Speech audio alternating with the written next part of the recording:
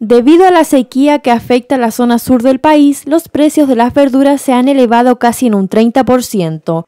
No es el caso para la región de Tarapacá. No obstante, la comuna de Pozo Almonte en el mercado municipal mantienen sus precios. En un recorrido por los diferentes puestos de frutas y verduras del mercado, apreciamos que los precios siguen igual.